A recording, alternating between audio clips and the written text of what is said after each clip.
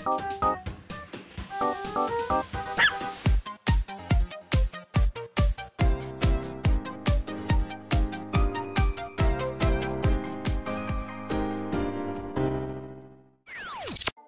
everyone, welcome back to another episode of Astro Pill. Thanks for tuning in. Playing more Tokyo Dark, and in the last episode, we were questioning her, asking why she was involved in the Yakuza. She just kind of got caught up in it innocuously. We're here to help her. Hopefully, we don't get our head sliced off by the Yakuza, but you know what? Sometimes we just have to take those chances, so don't sign that contract. I will help you. Ugh, damn it. It doesn't matter what I need from her. I can't make you sign this in good conscience. Hooray! I knew good would prevail in the end. Thanks. How'd you get mixed up with that woman anyway? I need some information from her. You should be careful. I don't know about her, but her thugs are dangerous. Last time they were here, I heard them talking about having to teach a girl from another cafe a lesson or something. The maid cafe? Please don't, please say it ain't so. Makes me feel sick thinking about it. What else would you expect from guys like that? Breaking legs is probably all they're capable of outside of grunting and drinking. Call me naive, but I don't get how someone can be so two faced. When I started seeing her face in the papers lately, I couldn't believe it. Surely that ruthless woman they were talking about couldn't be the Kasumi I knew, or so I thought. Guess it's like you said a tiger can't change its stripes, right? Hmm, maybe so. At any rate, you should probably be more careful who you trust in the future. Sorry, I didn't mean to wrap you all up in, wrap you up in all this. Yeah, you got us caught in two different things twice. This time, significantly more dangerous than last time. Last time we were just finding a cat poisoner, which is pretty sketch already, but now you want us to face the Yakuza? Girl? You better reward me with 5,000 cats. 5,000 cat pets. But thank you for not making me sign. So, what's your plan? Uh, I'm not sure if I really have one. Maybe I could appeal to her kinder self. If she really is a cat lover, I'm sure she wouldn't want to see the little guys hurt, right? Oh no, I've really gone and got myself into trouble, haven't I? Maybe I should go instead. The contract was given to me, so I'd better deal with it myself. Plus, I get the impression that being confined by the cops hasn't put her in a great mood. I'm sure you don't agree, but I still think there's some good in her. Sometimes I can't help but wonder if she'd be doing all these things if she didn't grow up into that life. And all the kitties loved her when they played with her. Cats are such good judges of character. I somehow don't think her treatment of animals correlates too much with her treatment of people. Uh, I'm suddenly starting to feel a little queasy thinking about going back there without the contract. Yeah, what's gonna happen to us? Are we gonna be okay? Oh my god! Damn it, Ayami! Damn it, Ayami! You've really got yourself into this, uh, god damn it, into one this time, haven't you? Ugh. Hello, Tomo! No point in dwelling on it now. I've made up my mind and I can't run Yakuza debt collections just because I'm in a tight spot. Tomo, your ear's blocking my words. Stop. Take care! Don't worry, my kitties are never wrong in judging someone's character. Yeah, sure. You keep telling yourself that. I'll think of something, but I need you to lay low and maybe close up shop for a while until I sort something out. Oh man, what are we gonna plan? Who do we even have to rely on? Ourselves! We can't rely on anyone for this. Okay, well, I guess we're just going free reign. So let's see. Who are we gonna come up with a plan with? Um, whoa, okay, we're locked off. Looks like we're gonna have a very set path to go to. So, okay, looks like they just want us to leave. Here we go. Let's see what our next step is. Oh my gosh, Tomo, what are you doing here? H hey, what are you doing here? Go back. Oh. Honestly, little one, I don't want you to get hurt. Go home. Are we just taking him with us? Oh my god, we are. okay, so we're using Tomo to, to help us negotiate. Re realistically, we'd be taking him back to Akiba, but I guess we're just, okay, whatever, he's our little negotiator. Tomo, how'd you even get out here? Is, shouldn't she be freaking right now? Oh my god. Oh, oh, oh, oops, right here. Okay, let's enter. Hi there. Welcome back. I assume you took care of that little nuisance for me. I didn't have her sign it. I couldn't in good conscience ruin someone's life like that. Hmm. Let me explain something to you. If I give you something to do, you don't come back until it's done. What, do you think you're some sort of moral crusader, helping out the little guy? What'd she tell you, anyway? That she was a small town girl who couldn't keep up with the big meanies in Tokyo? Put it that way, I guess I do sound like I'm asking a bit much. Did she tell you about all the cats that keep escaping? Or the ones who wandered into nearby businesses? How about the heaps of trash that were piling up around the place? If it weren't for me getting people off her back and cleaning up the place, those cats would probably be dead by now. What we have here, Detective, is a trust issue. You were too quick to take the other side because of who I am, or at least who you think I am. Pity. Kazu? Yes, boss. Take Ito outside and show her what happens when people disappoint me. Don't be too rough. I don't want a repeat of last time. Oh, and leave her face alone. I'd hate for someone to see a black eye and think she might be worthy of sympathy. Keep her jacket here. I like it. It's very chic. Did you know my friends tell me when all the police raids are coming? It's pretty handy, really. As a matter of fact, there's one scheduled for tomorrow. I'll be gone, of course, but if they were to find this jacket, well, who knows what they'd think. Would be a pity if someone recognized it. Yeah, because we wear it every single freaking day. There's no way they aren't gonna recognize it with our trendy little button. Kazu, escort her out. Good luck finding that stupid little girl. We are dead. We're freaking dead. We're gonna die. That's it. That's the end of the road. Was this a terrible decision? I don't know. I'm scared. Kitty, Tomo, yes? Hold on, Kazu. Ito, who is this? He's, um, I guess he's a stowaway from the cat cafe. Oh. He is, huh? I I see. I uh I I love him. Oh, he's so cute. Look at him. Look at his squishy little face. I can't have a detective beating around such a cute little face. What's his name? Beaten? Oh, um, I think his name is Tomo. Tomo? That's not much of a name for a man, is it? Hmm, I shall call you Mr. Marshmallow. About that blackmail and beating you were mentioning just a moment ago. Oh, that? Oh, forget it. Really? Oh, um, good, good. oh, Ito, lighten up. You're not a liability unless you start talking to your cop friends. And you wouldn't do that, wouldn't you? No, they likely wouldn't believe me at this point anyway. My thoughts exactly, so cheer up. How can you stay mad when looking at these big eyes and these little feet? I look at you and I see a woman whose priorities are all wrong, Ito. You don't appreciate what you have, only what you're looking for.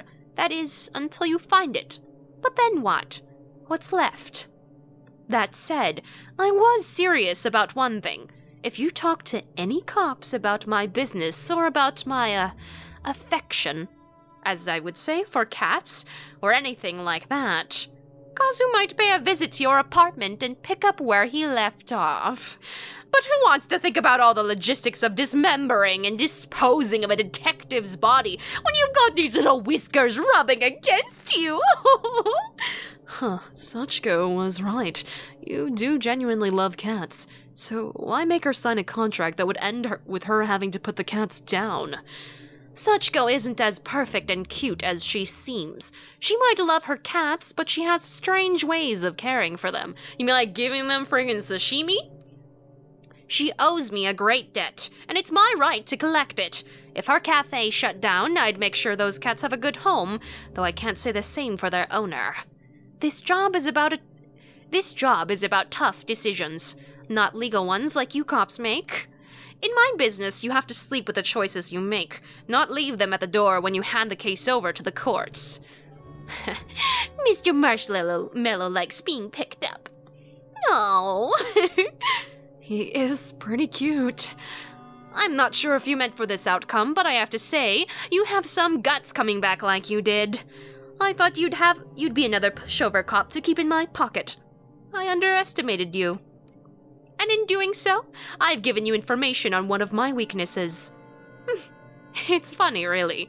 I spend so much time making sure I'm not seen as the weak woman that all the, these men expect me to be that I don't feel like myself sometimes. Something I'm sure you understand quite well. Tell you what, I'll let you have that one little weakness of mine. It's only fair. I know so many of yours, after all. In a different life, maybe we could have been friends. Kazu, stand down for now. Ito, consider yourself lucky. I'll let you keep your jacket tonight. Understood, boss. Alright, forget the Cat Cafe contract. I'll get one of my boys to deal with it later. Well, what was it you wanted again? I want to speak to Omega's company president, Higashi, about a girl signed to his agency. That's right, our missing agency president and one of his many projects. What a despicable little man. I'll tell you now, I had no problems taking control of the business from him. I left him as president to keep a few of his clients happy, a decision I regret now. Alright, let's talk to you. Did you kill him? Where is he? Um, no, we're not going to. We just had a conversation that we're a little more alike than we think. Let's let's just talk to her normally. Where is he? Unfortunately, I'm just as in the dark about where he disappeared to as you, I'm afraid. A deal's a deal, though. While you were out, I got an address to one of his old hideouts and the code to get in. I can't guarantee you'll find anything there, but I said I'd tell you what I knew, and that's what I know. You haven't sent one of your stooges to check it out for you? Stooges? I like you, but don't push it. As I said earlier, me and my men can't afford to be spotted right now, especially in an area getting so much special attention. Special attention? Doesn't Kabukicho get enough attention on its own? Kabukicho is what it is, but this isn't in Kabukicho. This particular spot got its reputation and subsequently its extra police patrols a bit more recently. In fact, I hear there's still an ongoing investigation going on there. I heard you'd be intimately familiar with that area and the incidents that happened there. My condolences on the loss of your partner, Detective Tanaka, by the way. All the papers are rushing to make you out to be incompetent, or worse yet, some sort of psychotic killer. Maddening, isn't it? My friends in police headquarters say you two were close. That's no way to lose someone you love. I suppose it's not too much to ask what really happened. Was there really someone there that night? Thanks on the condolences, but what happened on that night isn't something I want to discuss right now. Suit yourself. Let's change the subject back to Higashi. It took a bit of digging to find that address. Seems he was keeping a second hideout in Shinjuku under a fake name. Is it someone we know? I would laugh so hard if Higashi was really the young dude. The, hey guys, I'm really like, yo. I would laugh so hard if it was that guy. Now that we know where it is, he probably knows too. I highly doubt he'd be stupid enough to stay holed up in it. But I also doubt he'd be smart enough to completely clear the place out before he left town either. It's gotta have to do with the warehouse because or or the keypad, the keypad locked door that we've never been able to go into. Or the chicken place. There's a lot of possibilities here. There's probably something in there that would lead us right up right to him. Get what you want, then let Kazu know where the slime is so we can straighten him out. He'll get those fantasies of running away out of his head. The code to the door is 11235. I'll write that down in case, but I'm pretty sure uh, Ito's gonna remember that. One, one, two. God, this pen is running out of ink. Hold on. Scribble, scribble, scribble. One, two, three, five. All right, cool. Finally, we get to get in there. Yeah! It's the only keypad lock on the street. You can't miss it. Don't worry, I've been thinking about it all day, all night. My neur neurosis shooting through the roof. For what it's worth, I wish you good luck finding your little girl, but remember, you can't save them all, Ayami Ito. Oh, Anito. Thanks for bringing Mr. Marshmallow to me. Being holed up in one place for the last few weeks can be a bit taxing. You know, I remember he loves fresh fish. Fresh fish, huh? Sachiko certainly does have an eccentric taste. Kazu, go pick up some Go pick up some sashimi. Right away, boss. I don't know. I don't know what was going on there. Were you doing some like rhythmic DDR? But I got you. I'm going. They're not gonna keep Tomo here, are they? I mean, you know, obviously she needs some solace. She needs some time. But like, still though, they shouldn't. He kind of belongs to a different place. Maybe she'll drop it off later when she's able to show her face. That would be nice. All right, here we go. Back to Shinjuku. Let's finally unlock this door.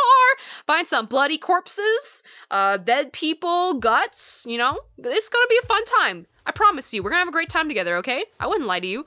Uh, let's see, keypad door was right here. Use the keypad. One, one, two, three, five. Huh. Oh, okay, so she just does it. It worked. Looks like Kasumi's tip wasn't a lie. Let's get on in there. Oh, God. And the background noise. There's gonna be a killer. There's gonna be a killer running after us at the end of the hall. Um, I haven't really been too scared throughout this playthrough. I thought it was gonna be really scary, but it's just like anime drawings. It's not too bad. You know, not a lot of suspense, side scroller, but I'm scared. Ugh, what a stench. I know that smell. Anyone who's worked in homicide long enough knows it. Great, dead bodies. I was right. I was right all along. Okay, so there's that. There's that. Okay, how many doors do we have here?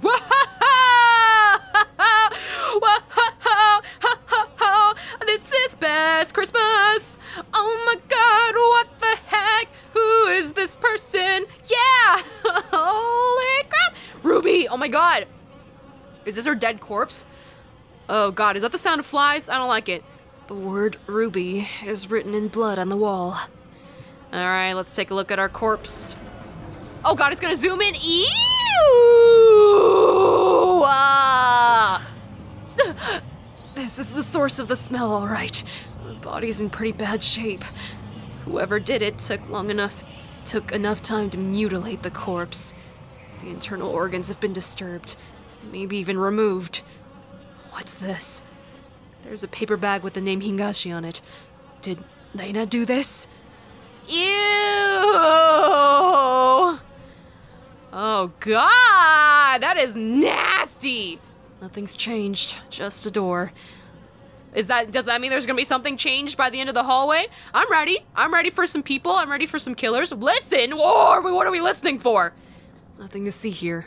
Where's that noise? okay, I'm scared. I'm scared. Where's that noise coming from?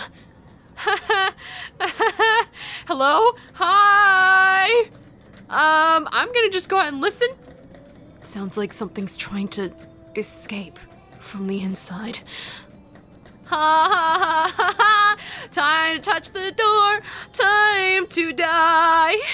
The rattling stopped. Why? Because they're gonna burst out and scare me. Oh, what? I don't wanna go in there. Hold on. Hold on. Nothing to see. Uh, dead corpse, dead bodies, dead bodies, dead bodies, dead bodies. Ew.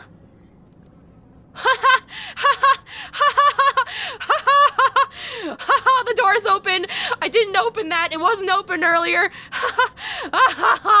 Can we leave? Can we leave? I want to leave. I want to go. You guys, I don't want to do this. Haha. Haha. okay, calm down. Calm down, Axus. It's okay. Where are we? Where are we? Oh, okay, it's just a scenery. We're fine. We're fine. We're fine. Oh. Huh. Is this a different a different idols?